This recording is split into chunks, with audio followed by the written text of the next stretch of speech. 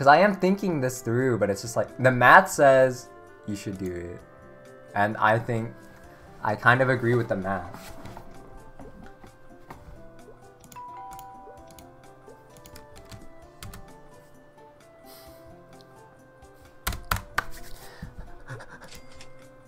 I did it.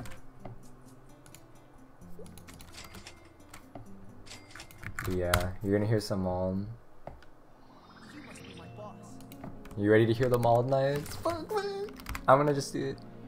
I don't really care. If it booms, I will promise you that I won't say anything. I'll just accept it. It was like, it was there. My odds were there, and I just said, yeah. I just said yeah.